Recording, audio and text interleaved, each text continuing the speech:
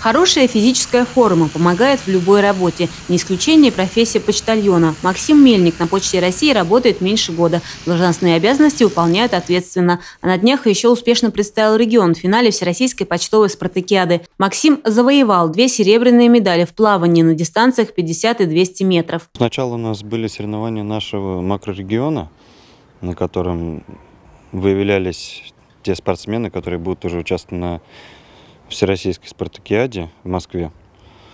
Вот. Там два золота получил. Потом уже сказали то, что я буду участвовать в Москве на Всероссийской спартакиаде. Был рад и приехал.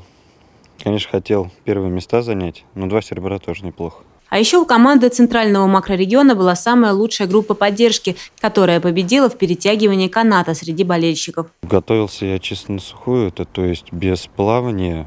Это с утра вставал, бегал, это отжимания, подтягивания. То есть без воды были тренировки, поскольку я не мог заниматься. В спортивной школе была спущена вода, и я не мог там заняться, заниматься плаванием. Можно сказать, что Максим – потомственный почтальон. На почте работает его мама, а раньше и бабушка. Участок большой, но с работой справляется. Подтверждение тому – добрые отзывы. Очень хороший мальчик. Дай бог каждому такого. И всем мы. Вот когда ноги-то, видите, какая не ходит, другой раз и домой принесет, и другой раз найдет вот на лавочках. Золото, а не парни. Максим не готов останавливаться на достигнутом. Он продолжает тренировки и готовится победить уже в следующем году. Любовь Почерникова, Денис Денисов, РТВ Иванова.